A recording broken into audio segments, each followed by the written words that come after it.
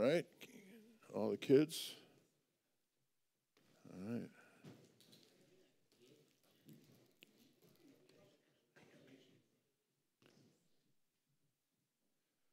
Thank you, Travis and Annie. Take your Bibles this morning, Mark chapter 6, as we continue our series. And Mark, be praying for, again, so many that are traveling on this Labor Day weekend.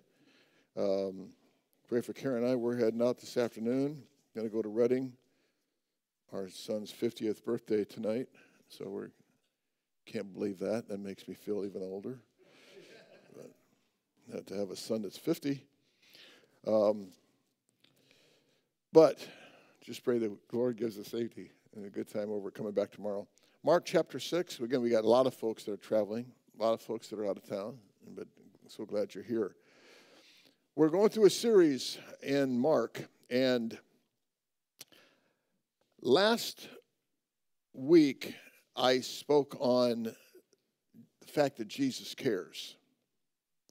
And I pointed out several things about the fact that Jesus cares. One is that um, we see his compassionate care. And when he fed the, the, the, the 7,000 people, 5,000 plus men and women, or over 7,000, we see his compassionate care because the Bible says he was filled with compassion. We also see his omnipotent care in that he could do nothing. Uh, he took that five loaves and two fishes and fed over 7,000 people, and that's just not some magic trick or some something that's a fictional story that we read about. It actually happened. Uh, it's a miracle of the Lord. And the Bible says they ate till they were filled, which simply means they had more than enough. Some of you know what it's like to be filled, where you they're actually passing seconds and thirds, and they're saying, "Oh, I can't, I can't eat another bite." And that's about where they were. There, they were filled, they were satisfied to the point they had 12 basketfuls left over. And so we see God's omnipotent care. And the thing I pointed out last week is that it doesn't matter what spiritual things going on in your life, there's not a spiritual issue in your life that God does not have the power to deal with and help you with, no matter what it is. And then we saw also his cooperative care last week, and that he used the little boy's lunch, 12, you know, to feed that many um, five loaves and two fishes. And the little boy had what he had and gave it to the Lord and probably looked around and said, This isn't much. My mom gave, it to, gave this to me for a lunch, but I'm going to give what I have to the Lord and uh, give it to him. And God took it and blessed it. And the point is, again, that God takes what we offer to him and he uses it for his service, whether it's uh, great or small, uh, no matter what, what it is, God, God uses it. Um, and then Fourth was his complete care, that they were filled completely. And it's just so good to know that our life can be totally satisfied in the Lord. There's nothing lacking. When you come to Jesus and you give your life to Him and you, you live for the Lord, we, there's a completeness.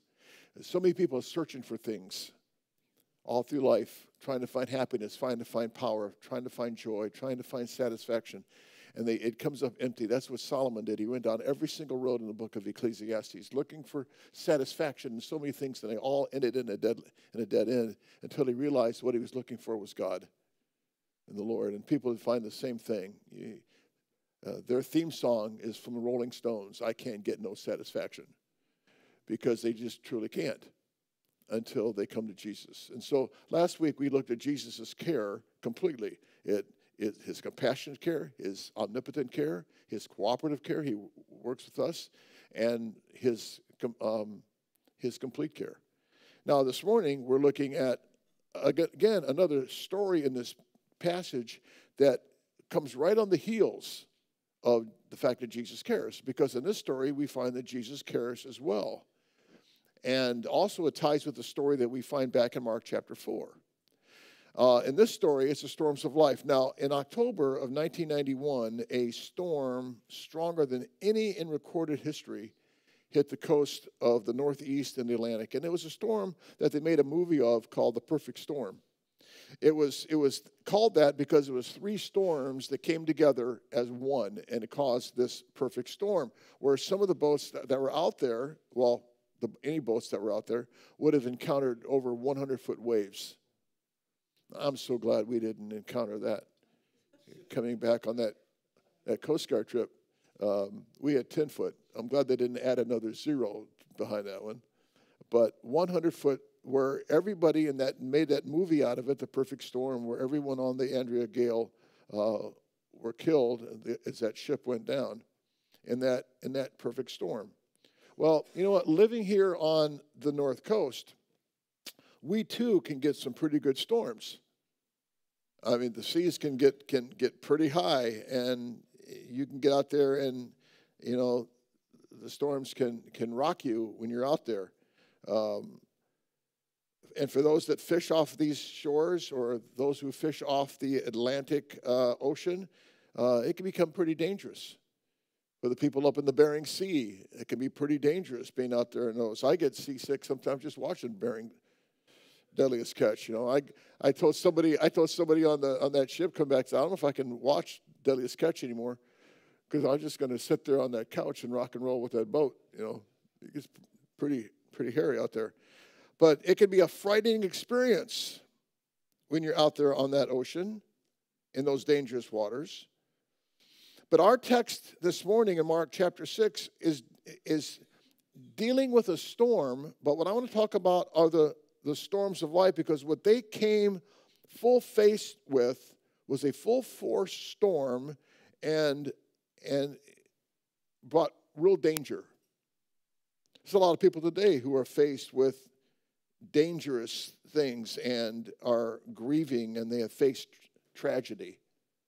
Just read the news this week uh, from the gangs in Aurora, Colorado, and the devastation that's being done there, to the two brothers uh, in New Jersey, uh, two, one being an NHL hockey player, and the two brothers were just riding the bike and were hit by a drunk driver, and they were both killed the day before they were to stand up for their sister's wedding.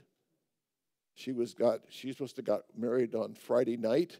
They were standing up with her, and they were both were killed on Thursday. Weddings canceled, of course. But what tragedy that family hit! The joy of having a daughter getting married on a Friday night with her brother standing up to a funeral. Tragedy.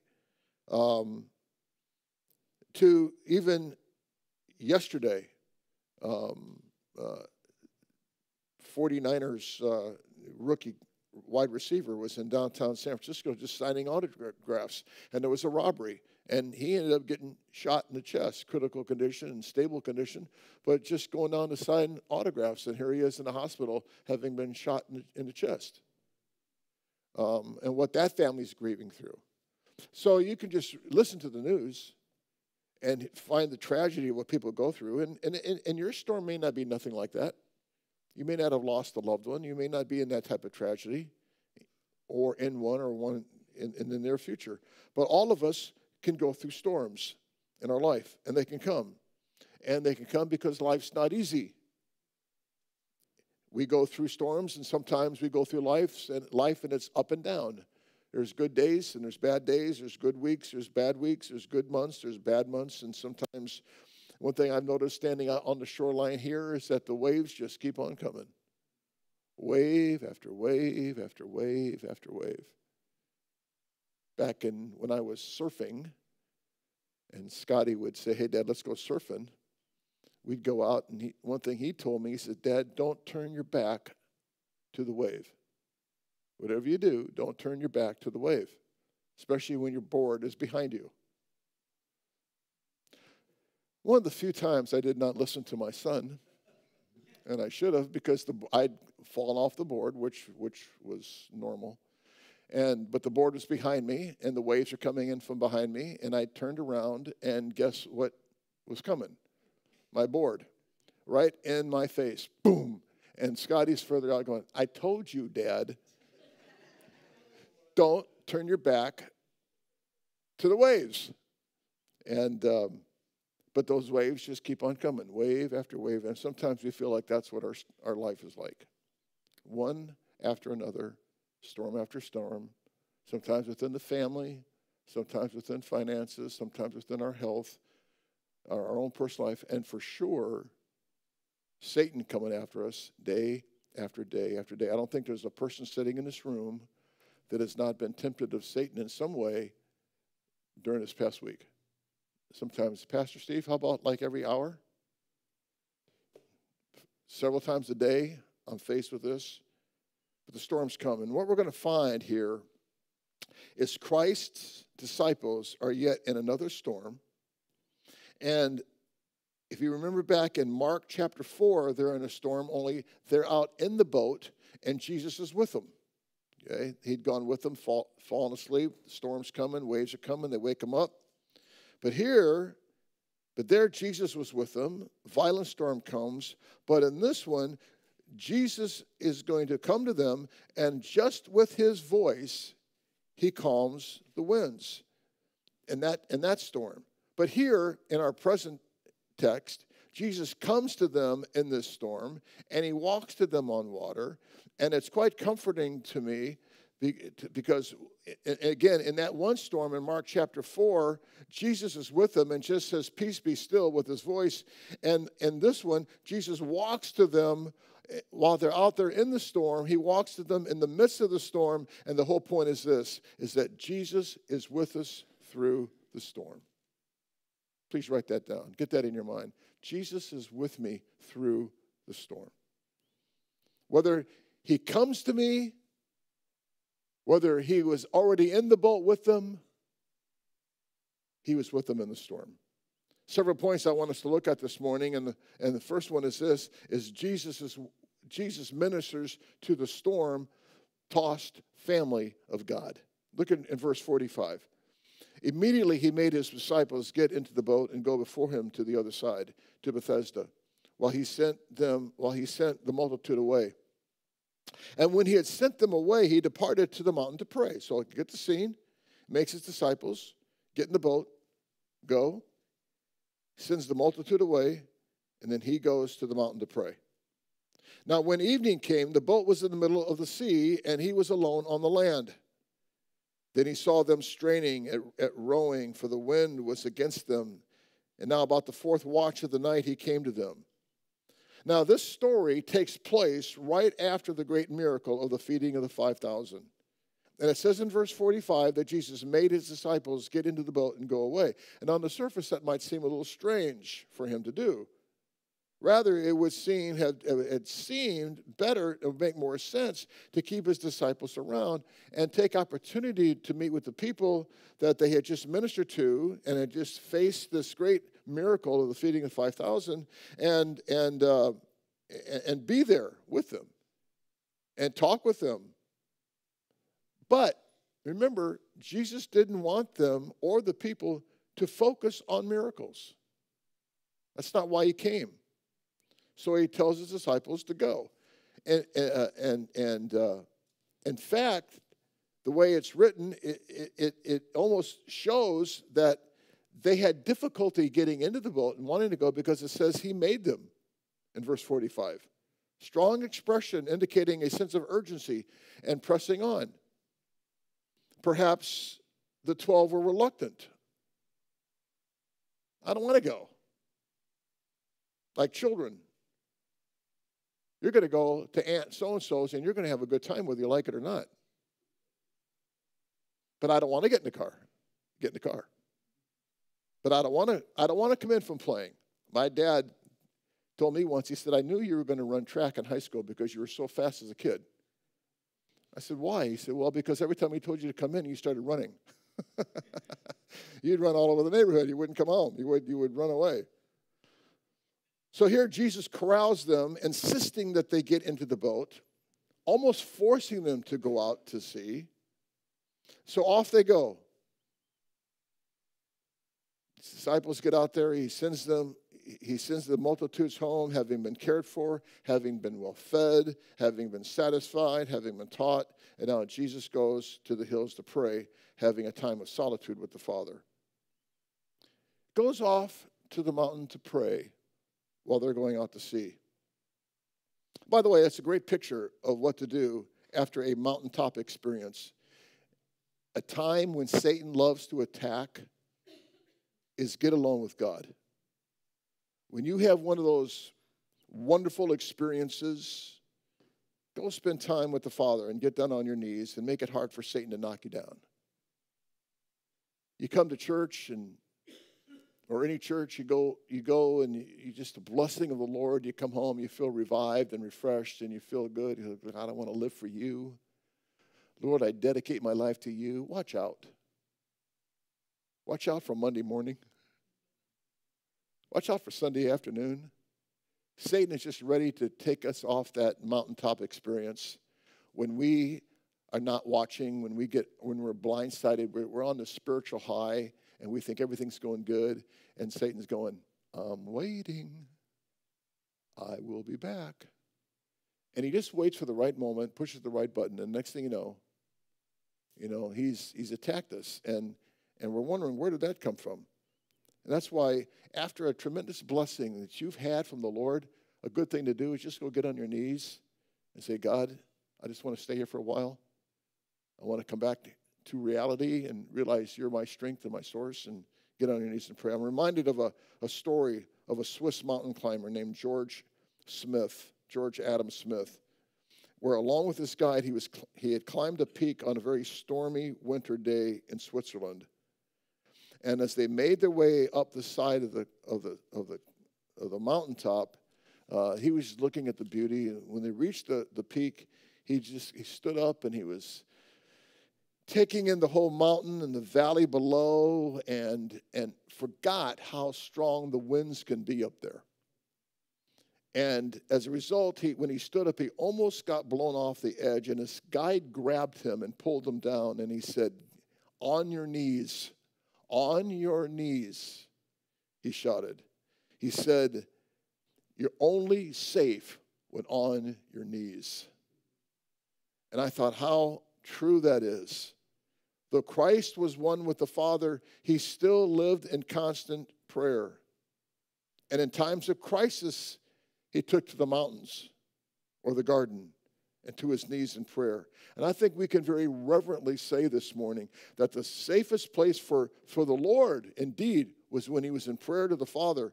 And, and he prayed, and he prayed that his mission would be accomplished. And he prayed for strength, and he prayed for others. And you can be assured that he prayed for these men out there on that boat knowing the storm was coming. And the safest place for you and I when we're going through storms or going through mountaintop experiences is on our knees. It's very hard to get knocked over when you're on your knees and you're praying to the Father. And, and that's just a great principle, a great thing for all of us to remember is that when, when I'm going through a tough time, uh, I need to get I need to get on my knees before the Lord. And when I have just finished a mountaintop experience with Him, I need to get alone with the Lord in prayer. So here is Jesus praying for his little band of men struggling through the storm. Look at verse 47. Now, when the evening came, the boat was in the middle of the sea, and he was alone on the island. Then he saw them straining at rowing, for the wind was against them. Here they were out there disciples, think about it, they were doing, they were sitting out on their destination, but a strong wind comes howling in, and they're struggling.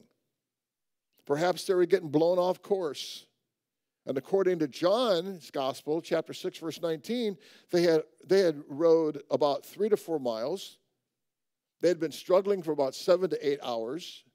Their sails were down, the oars were out. They're, they're literally driving at the oars and yet not getting anywhere not getting any closer, only further away. And now they aren't in any apparent danger of death in the storm, like we find back in Mark chapter 4 when the boat was about to sink and the waves were coming over, or the men on the boat with Jonah, but they were miserable. They were soaking wet, they were cold, they were straining for hours. And maybe you, you're like that. Maybe you're feeling that way. Like, man, I'm just not getting anywhere. The harder I work, the further away I get. I'm just not getting in any place. And that's where these, these disciples were. But what is ironic here is that these disciples were miser- in this miserable condition because, you answer the question, they were obeying or disobeying Jesus. They were obeying Jesus. They were in this tough spot because they were obeying the Lord. What a lesson for believers. So much for the belief that bad things happen to you because there must be some sin or disobedience going on in your life. Yes, sometimes that happens. But here, these disciples were in total obedience to the Lord. Disobedience would have kept them on the shore. Disobedience to the Lord would have been in a warm bed, having a hot meal, dry clothes, perhaps the guest of one of the homes of people where Jesus had done this miracle, talking about, about it. But, but rather, it was obedience that made them so uncomfortable. It was obedience to the call that led Jim Elliot's life being taken as a missionary. It was obedience that resulted in the death of John the Baptist and Paul. It was obedience that um, caused, when I was speaking at that conference in, in, in Egypt, when those pastors from the uh, uh, Upper Nile had come, and one of the men had just had a church member beheaded because of his faith in Christ. It was obedience to the Lord. It was obedience to the Lord that Pastor Pavel's father in Russia was sent to prison for his faith, and that two of his deacons were sent to prison for their of his of his father's church because of their faith. It was obedience to Christ that led to the abduction and murder of those three New Tribes missionaries years ago. Listen, if you submit your life to Jesus Christ and, and, and, and be committed to Him, uh, be obedient to Him, we will expose ourselves to a, a variety of sorrows. Uh, you, you caring about being committed to biblical living will make you vulnerable to things that the uncommitted heart will not face. This passage, in fact, this passage is just the opposite of prosperity theology. Name it and claim it. Just doesn't go with this experience. Because, yeah, if, if we say, I'm going to be obedient to the Lord, yes, there may be some, some contrary winds that come, but there, but there will also bring joy to your life when you live an obedient life to the Lord. Never climb a mountain, you'll never bruise your shins. You'll never get tired, never get worn out, but you'll never stand on the peak and, and, and enjoy the beauty of that mountaintop experience. Never play baseball and you will never strike out. Don't worry about it. You don't want to strike out, don't play baseball. But you never know the thrill of hitting a home run or getting a base hit or knocking the winning run in. You'll never know the thrill of victory either. Don't want to get hurt playing football? Don't be running back. You will never have to go home and say, I'm hurt. I haven't pulled my hamstring since we stopped playing softball. we had a church softball league, and it seemed like every night I'd go and I'd pull a hamstring. I haven't pulled a hamstring in years, but I also have missed out on the joy of playing ball. Never obey Christ, and you will miss some of the some of life's contrary winds, but you'll never know the winds of the Holy Spirit in your sails, bringing you to a place of service and blessing to somebody else. Never share your faith with anybody. Never tell somebody about Jesus. Never ask someone key questions. Uh, don't ever put yourself out there. Never be forced out of your comfort zone. Never put yourself into that unwanted uh, confrontation. Never get to the place where you feel rejected or scorned.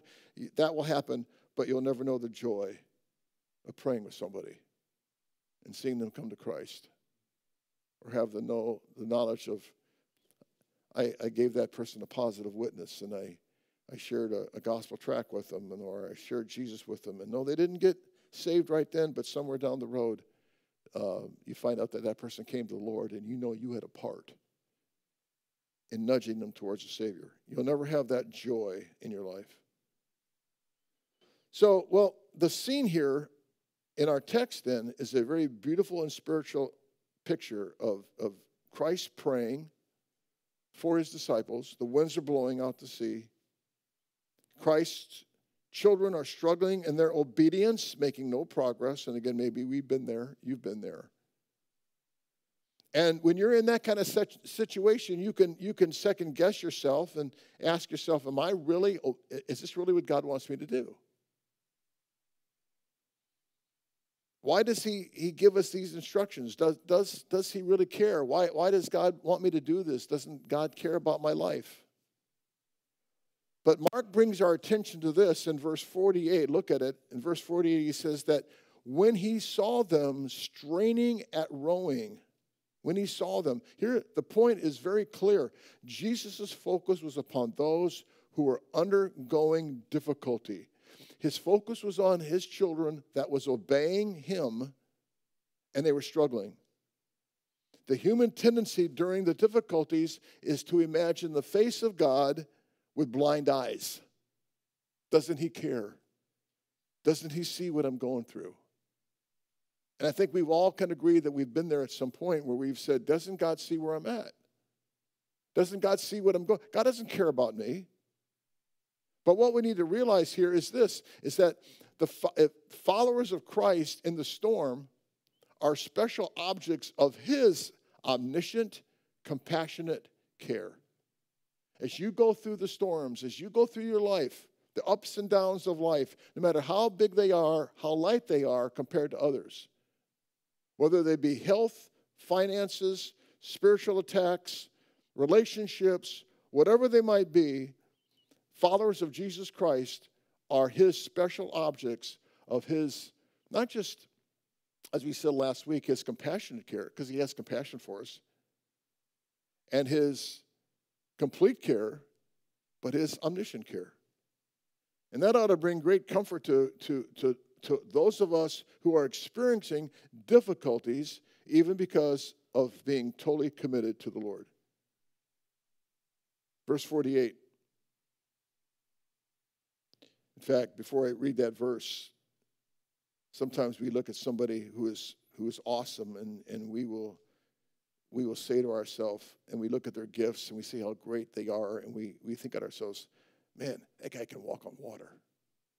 Or it seems like that guy can walk on water. Well, here, Jesus really did walk on water. Look at verse 48. Now, about the fourth watch of the night, he came to them walking on the sea and would have passed them by. Jesus comes to them in the darkest part of the night, the fourth watch of the night, the darkest part of the night, when they had exhausted their all of their energies and they are in their deepest despair, Jesus comes to them. And watch, that is how he often comes to us at the darkest hour. When things couldn't look any brighter, so that we might learn the futility of our own strength and depend upon Him. And what I need to realize this morning, and you, I want you to realize, is that the very waves that distressed them became a path for His feet. The very thing that was distressing them, and that was the water and the waves, that just, Jesus just walked on that. They just became a path for His feet so was transcending was his power. I, I think, Ron, I think it was your son that made the, the comment to me. He said, or he made the comment where, think about it. One of the most precious things that we have in our life is gold. And heaven is paved with gold. And Jesus walks on the gold. He said, We're going to walk on the gold. The most precious thing to us is gold, but yet that's what heaven, that's what we're going to walk on. Here, here in this passage, the, the, things that were depressing them and discouraging them were the seas, was the water. It was troubling them. And he, all that was for Jesus was he walked on it. He not only sees, but enters the human struggle. What we struggle with, he uses as a platform to meet our need. That's something. You're out there and you're going, oh man, these waves are coming in. The boat's going to sink. And here, oh no, Jesus, don't come. It's too dangerous. Don't come out. You know, that's what I would be saying to somebody if I'm out in the boat and I see them on the shore. Hey, I'll come to you. No, don't come. Are you nuts? You're going to sink. What's, prob- what's distressing you is not a problem to me, God says. And he just walks on it. And he walks to them. He enters the human struggle.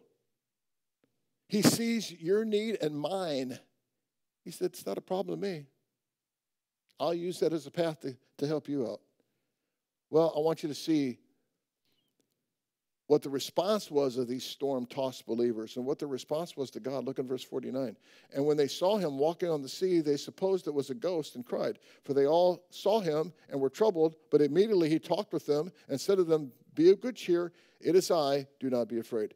The disciples were in abject terror. In fact, it says they cried out. Literally, they cried up. They were, some were screaming. Perhaps some might have been fighting the urge to jump o- overboard into the water. They were so scared. The question, obviously, is why didn't they recognize Jesus? I mean, they had just been with him. The Bible says they saw him walking on the sea. They supposed it was a ghost. Why didn't they recognize him? Well, I'll tell you why. Probably one of the reasons is because they were not expecting to see him. Maybe they weren't expecting to see him. I don't know how many times I've been in store wearing a ball cap and said hi to somebody and they just walk on by. And I think, well, how rude. But then they see me another aisle older and go, Pastor Steve, I didn't, ex- I, I, I didn't recognize you in a ball cap. I said, I know, I'm out of, I'm out of clothing. you know, and then I didn't recognize you. Well, you know what else? They weren't expecting. And now if they, if somebody said, "Hey, Pastor Steve is one aisle over," they had to recognize me right away. But they weren't expecting me, and they weren't expecting me in, in, in a ball cap. They were maybe not expecting Jesus to be out there. Like many folks, we see God at work in other people's lives, but we really don't think He will come to our aid. Oh, I know He's working for them, but I really don't think He'll help me. I think he'll, he will help others, but he's unaware of my situation. I know he's able, yes, but I don't think he will really help me. They didn't recognize him, thought he was a ghost. They didn't realize who he was. They didn't, they weren't expecting him. But our heads should be cleared as these disciples were when they when we hear the words as they heard the words, and he said to them, Be of good cheer, it is I do not be what? Afraid. In fact, folks, 365 times in the Bible it refers to fear not. 365 times. I've, I've said when God, if God says something one time, one time, it's truth. That's all he's got to say it. Sometimes we as a parent will say, if I tell, I, all I have to do is tell you once and we end up having to tell them 10, 12 times. If, if God says it one time in His Word, it's truth. But listen, when He says something more than one time, you better pay attention to it. And when He says something and refers to something 365 times, fear not. We better pay attention to it. Fear not. And the opposite of that, then, what is their response? What was their first response? The response was one word faith. Faith. In fact, in Matthew's gospel, this is the same story in Matthew's gospel. You have the story of then Peter walking on water. It's not covered in this, in this passage. Peter walking on water by faith. And, he, and yes, he took his eyes off of the Lord. And yes, he began to sink. He, God lifted him up, and that's for another message. But at least he got out of the boat. And he got out of the boat by what? Faith. When we see Christ come and meet us in our troubles, listen, it causes us to grow stronger. And it should cause us to climb out of the boat of safety and comfort and then walk with Him by what? Faith.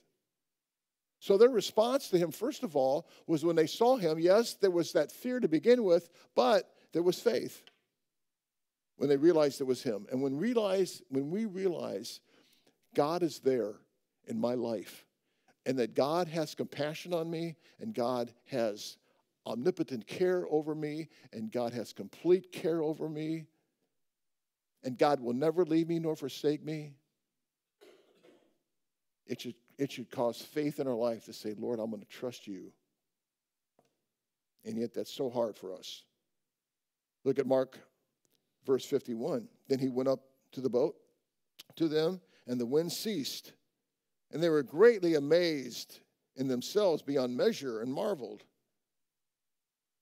But most importantly, Matthew also in Matthew's gospel, he tells us what the second thing they did. Not only did they respond by faith, but also in Matthew 14 32 33, it says this And when they got into the boat, the wind ceased. Then those who were in the boat came and what? Worshipped him, saying, Truly, you are the Son of God. They ascribed to him his proper title. Their lives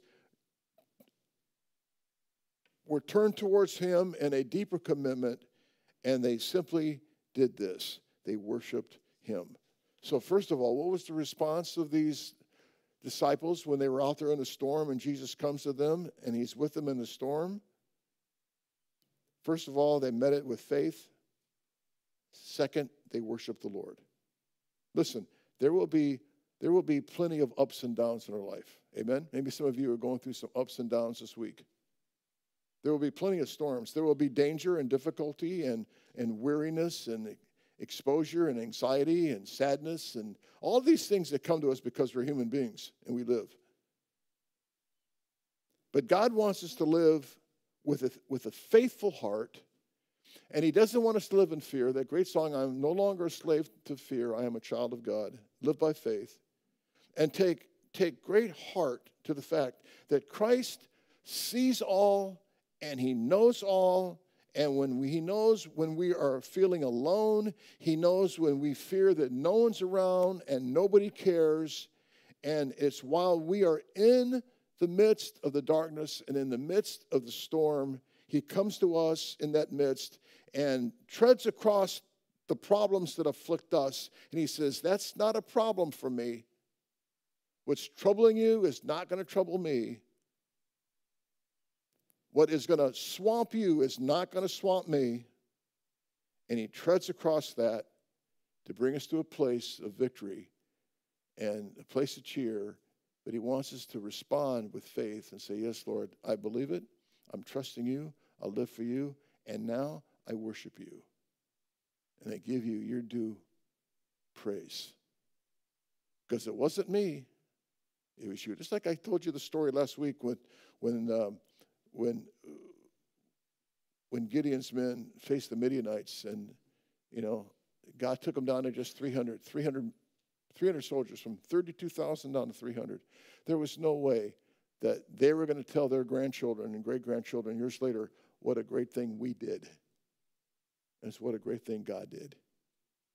And when God brings you through and God helps you let that build your faith. Build your faith and then worship Him. And worship Him isn't just singing the songs.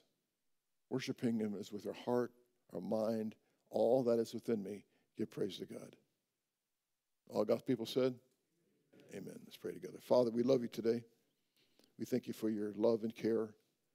Lord, we thank you for this great story that you give to us in Scripture.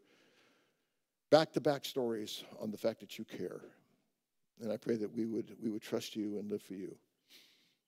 We ask it in your name we pray. Amen. I'm going to ask our ushers to come wait upon you for our tithes and offerings this morning. I want to make a few announcements today um, as they come.